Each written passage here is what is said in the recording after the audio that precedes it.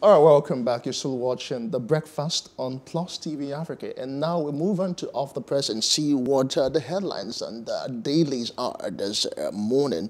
We'll begin with the Daily Independent with the banner headline, There Fresh Crisis in APC as Lawan Buni Bike over 2023 presidency. Uh, there is a high that the S Oil and Gas announced CEO uh, Board of appointment. Then gunmen abduct Abia varsity student Q10 in Niger and uh, in um, Ondo State. Above the masthead, 27 state, 121 local government areas at risk of severe flooding. Agency wants uh, CBN extends Naira for dollar incentive for diaspora remittances. Uh, just below uh, the page there, Boko Haram attacks uh, scare heightens uh, security tension at National Assembly. Embrace a name to guarantee peace security, Buhari tells uh, Nigerians. Uh, then again, in security, Senate grills service chiefs, IGP, DGs, DSS, and NIA. What the rider, uh, service chiefs uh, are doing their best uh, with what is available, Lawan is saying. Nigeria operating military government in a democracy that uh, attributed to Bode George. Buhari, Jonathan Sanwo-Olu, Kalu commiserate with Adeboye over son's death. Those are on the front page of the Daily Independent. All right, let's now go to the Punch newspaper. The headline reads, Boko Haram invasion plot. Anxiety in FCT, heavy security at NNPC, Army barracks, others. FG increases security presence in Abuja, intensifies stop and search. And Guards Brigade here is saying we're not aware of security threats in nation's capital. Above the headlines in the Punch newspaper, $1.5 billion Port Harcourt refinery repairs begin. Projects gets 44-month deadline. Reps summon NNPC, CBN, FIRS, EFCC, probe illicit financial flows.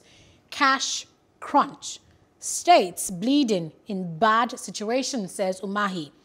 El here says, we were ready to lose students in planned bandits bombardments. Wow. Wow, that's just shocking. Below the headline on the Punch newspaper, we see a picture of people jubilating, dancing, and uh, the caption reads, Freed Kaduna students, excited parents storm school, victims in hospital. Talks ongoing for release of Greenfield Varsity students, and that's according to Sheikh Gumi. Adeyeye, narrow-minded, trying to relaunch himself, and that's according to Fayemi's aide. Buhari National Assembly governors condole with Adeboye over son's death. One dead, vehicles destroyed as hoodlums clash in Lagos. Probe begins Monday as FG suspends NPA Managing Director Bala Usman. And lastly, here on the Punch newspaper, gunmen kill policeman, abduct another couple, other in Ogun State. Well, those were screaming um, headlines. Away from the, uh, the Punch, we'll move on next to The Guardian. The banner headline this morning uh, is uh, rumors of bandits attacks uh, Settle, Abuja, uh, with several uh, riders there. Then again, cautious optimism as contractor takes over Port Harcourt refinery for 1.5 billion dollars rehabilitation. All right, those are the stories on the more on the Guardian. Expect greater floods this year. Federal government tells Nigerians as housing ministry plans portal for sale of houses, uh, Lagos uh, begins distribution of ICT devices to students. Catholic Church charges Mbaka followers to atone desecration. All right, uh, those are the stories on the Guardian. Uh, finally, Buhari uh, governors uh, uh, PF and Mon Adeboye's son, uh, Dare. On the Nigerian Tribune, reps probe 43 billion naira safe school initiative. Buhari suspends NPA MD Hadiza Bala Usman. No training of 3,000 Fulani men in Ondo Army barracks, and that's according to Akeredolu. Oyo sets to give final judgment on boundary disputes in 23 local government areas. 28 states at risk of severe flooding, that's according to the federal government. Insecurity, defense budget not adequate, and that's according to the Senate president. Buhari governors others mourn as Adeboye loses 42-year-old son. Reps probe reports on $348 billion illicit financial flow and loss of public funds. All right, those are the stories uh, on the you know the dailies this morning. Let's get back to our analyst uh, Jide Johnson. Uh, uh, precisely, uh, the caption on the Nigerian Tribune just hit me. Uh, Reps probe a 43 billion naira safe school initiative. Uh, do you really think it is apt right now, knowing that the insurgents, bandits, you know, have taken over schools and soft targets recently in the country? First, um, we express our condolences to um, the pastor of Redeemed, General Overseer of Redeemed Christian Church of God over the loss of his first son and his third child. It's very unfortunate. God grant them fortitude to bear the loss at this critical point in time. Um, and also to all other Nigerians, either through one way or the other, that have lost their loved ones through this banditry. Some were released, some were killed because, particularly in Kaduna, because of them being kidnapped for going to school, which takes us to the first story you asked me to comment about. That is, every one of us that have children in school now uh, are scared. I'm, I'm sure we are sleeping with our one eyes open, uh, with our heart beating at the faster, at the fast story. You know, the, the, the sighting of schools, schools, whether universities, um, secondary schools are usually sited far away from the from the community, particularly boarding schools and universities that are hostel. And what we are seeing now is giving everyone a cause for concern. I'm not sure if people are not going to adopt homeschooling for their children because the schools are, are not safe. With respect to the rep probing, I have never seen the result of any probing by the House of Rep. I've never seen any prosecution. I've never seen anybody being accountable. As far as I'm concerned, it's just pure grandstanding, grandstanding on their on, on, on their behalf, trying to show to Nigerians that they are doing something. Where in any case, um, they're not doing anything. And with the security situation in the country, the National Assembly should be grilling the president, not even the service chief. The service chief alone, they should be holding him accountable. There's no resolution there's no process that have been put in place to ask questions with respect to how we are going to make our children safe. They've not even invited the Minister of Education for them to see how they're going to make our schools to, to be safe. I remember in the in the 70s when we were still young, where soldiers were posted. I, I recall soldiers were posted to to to all to all schools, secondary schools in Lagos then to provide security and across Nigeria to provide security um, and maintain discipline in some of this in, in, in, secondary school across across the nation then. So this particular issue is a, is a cause for concern. Even though my son goes to school in Lagos, but where is in Lagos is far from the cosmopolitan area Lagos. I still have my heart palpitates. I every time, let me just put it across. Every time a parent receives a call from the son or the daughter that are in schools now, the first thing, what's happening? The first thing, your first reaction is what is you are already agitated and pepped up concerning concerning that. And so let let rep continue to prove, but they need to do what they are supposed um, to do. Which takes me to the second story, which I want to talk about with the Senate grilling service chief. We have it in the Punch newspaper and in the Tribune newspaper, the, the, the service, the angle that the Tribune newspaper reported that same story is that defense budget inadequate. Lawan, we saw that the Senate was grilling the service chief, the body that was meant to hold the executive accountable and the head of that body at the same time, even before the end of the meeting, even before we are privy to what happened in the meeting, made a defense for the service chiefs one, saying that the defense budget is inadequate. That's the angle that the Tribune newspaper report, reported it. Um, and the Punch newspaper said he, the Senate president was also saying that they were doing their best, their best with what is available. Jesus is Lord. Hmm. Mm. That they are doing their best with what is available. If their best is not good enough, then they should call it quit. If this Senate president is making excuses for this service chief, if the body that has control over the post is saying that the funds that they have made available for security issues are not enough, and yet they had money to make provisions for the renovation of the National Assembly, and that they didn't appropriate money for security. It calls for question. If, if the Senate President if the Senate President or the majority leader of the United States Senate or the British um, House of Lords has said it, he will be forced to resign because people are not held accountable to the words they speak.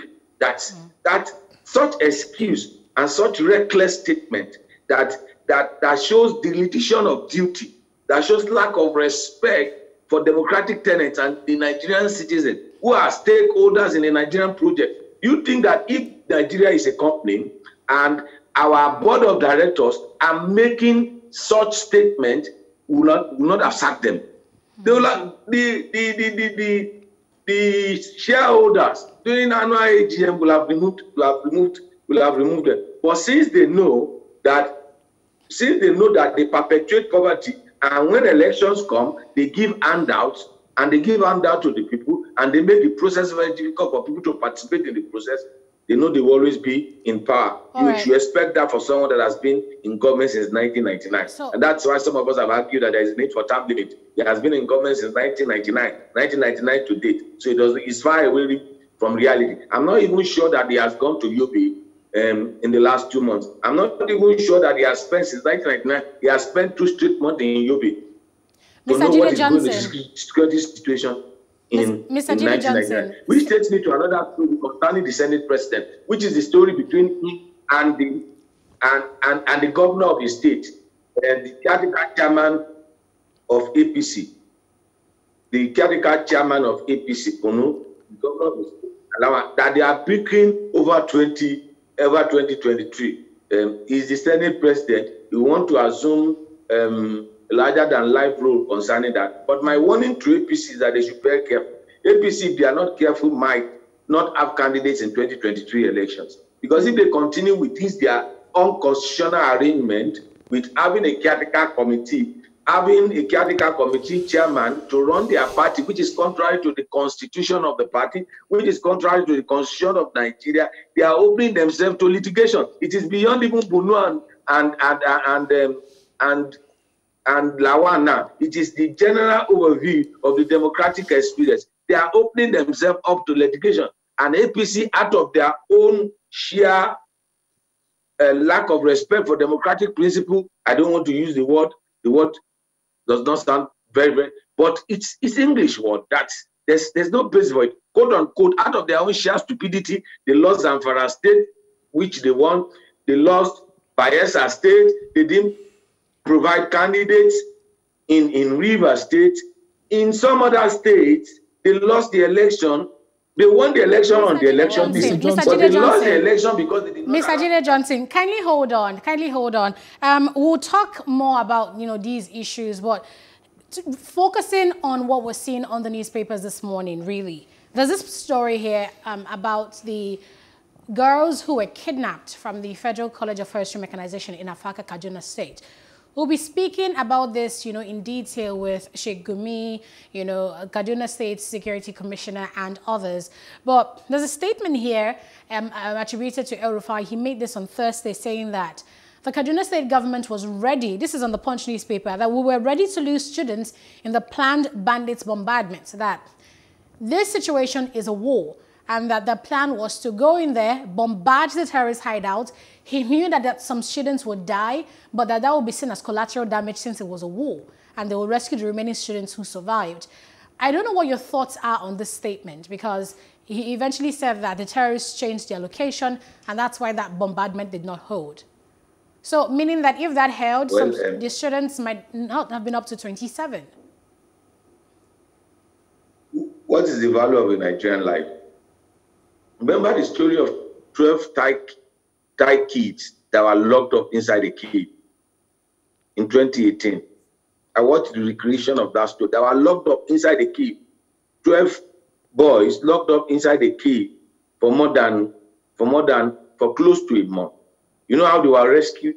It became a national, international story. The boys were rescued. If they were Nigerians, they would die there Jesus' name. Inshallah. Eriwo, yeah. They will just die there. Nobody cares. What is the value of an average Nigerian? In January, December, January last December or January, December last year or January this year, towards the tail end of the year and this year, Americans came to Borno State to rescue their citizens that were kidnapped as hostage. You know the distance between United States of America and Nigeria. What say such statement, it tells you the value they have. If his, his own son or his own daughter that ah, are kidnapped, would he have said such statement? Would he have said such statement? Such statement should not be coming from people you have entrusted with state resources. You have entrusted with state power. You have entrusted with state authority. That's that's that's not upholding the oath of office he swore.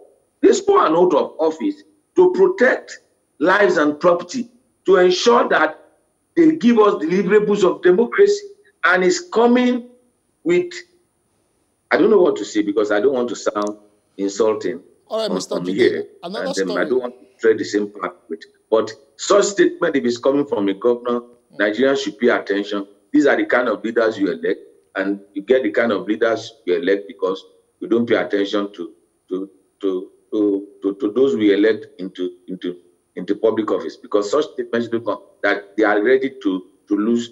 How many country would rather say that we are ready to lose one citizen? What's the life? I'll give you a short illustration. All right, Dr. Jude. That was given was a parable that talks about paying attention to whatever is put in your care.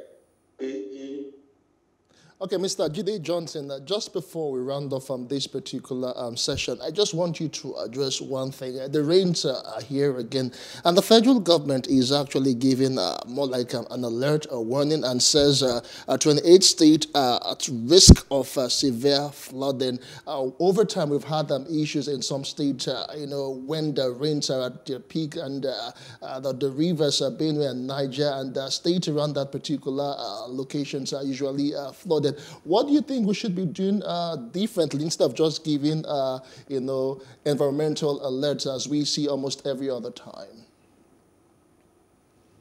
Warning. They said, government said, they are warning, federal government is warning the state. So what do you expect me to say? We should, we should keep warning them. Whether warning will solve the problem. We should keep warning them.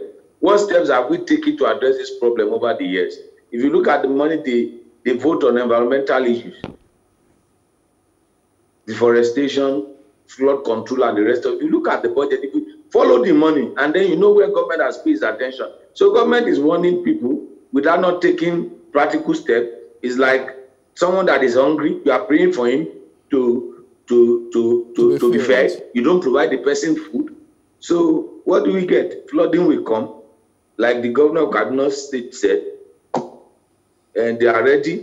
Government, federal government has warned them. If you pay attention to what they have said, you leave those places so that you don't lose your life, you can lose your property. But the most important thing is you don't lose you don't lose your life. But like they said, government will warn you. They are prepared for you to lose your life and property if you don't heed to their warning. So that's what uh, I would say concerning concerning that because it's responsible of, of government not to make adequate provision. We, we have FEMA. We have FEMA Federal Emergency uh, Authority, we have FEMA, we have different agencies of government. Have we mobilized them? Have we set up a coordination between states and the federal government and the local government to look at the affected areas? What will be our response to that particular issue when it happens? It's, it's nature. It's something that we know will happen. You know the time it will happen. And then you are issuing warning. You are not saying that this, we have taken step one, two, three, four, five, six, seven we usually see United States of America and another climb when hurricane is about happening. First level, second level, third level, and they tell us different types of emergency that they put they put in place. They put an evacuation system to evacuate people, to take them to certain location. They open convention centers and the rest of it. We are not doing that. We are warning. And you want me to advise government that is warning people? Keep warning the people. Okay, lastly, Since Mr. Jide Johnson. Has done Mr. Jide Johnson, lastly, we, see a story here on the Nigerian Tribune, which says, um, this is according to the Senate President, about this security budget matter. It says defense budget not adequate. But when we look at the 2021 budget and just how much of a lion's share, you know, security allocation took up and how, you know, the, there was a report by SERAP just a few days ago talking about how much is spent in security votes, you know, the, the budgets for security, all the loopholes, and just the corruption. So how then do we, do we marry these two information? You know, leakage and overspending for security with little to show for it. And the Senate now saying that defense, you know, budget is not enough.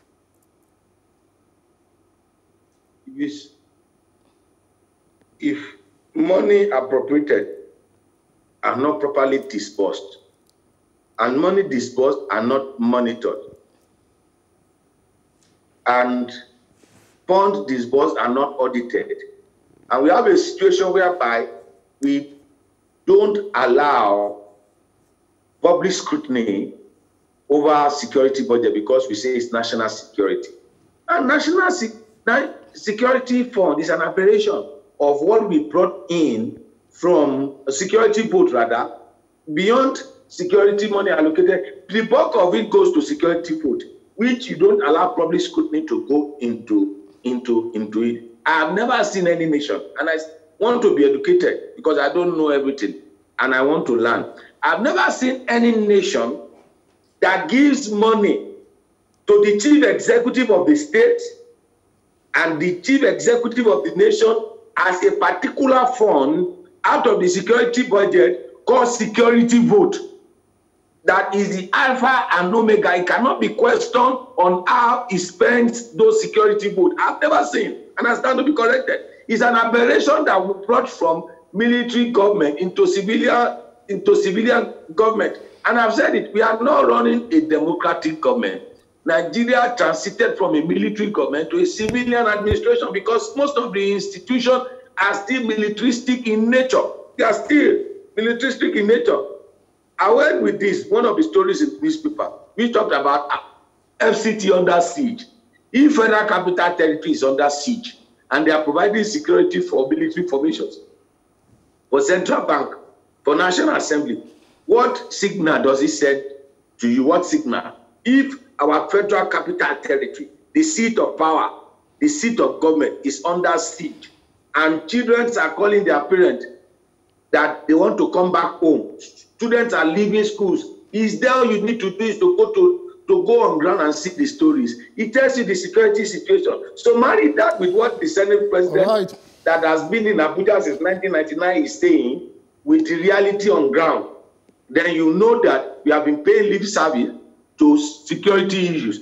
And there's the need for us to review it. If you are spending money on security vote, It's our money, it's our taxes. Explain to us, we use this to do this, to do this, to do that, to do that. But when you tell us that we cannot have public scrutiny on the money you are spending for budget on defense, let me tell you, we'll still be in a in the same circle. Mm. And Zig Ziglar said, for us to do the same thing the same way and in the same manner and expect to get a different result is the beginning of insanity.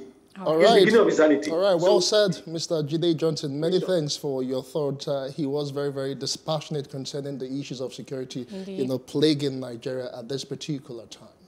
Yes, thank you very much once again, Mr. Jide Johnson, for always gracing the breakfast on Fridays. We do hope you have a lovely weekend. Sure, sure about that. Surely do that. And you too, make sure you enjoy the best of your weekend, All even right. though you come to work tomorrow, but you have some time off. Thank you, Justin. It's thank a pleasure you. to be with you. And thank you to our listeners. There is there is light at the end of the tunnel. Everything will be better and will be better. Yes, there is. Yeah. We hope so. Thank you. Thank you so much. All right, we'll take a break here and we'll return with uh, Today in History. Do stay with us.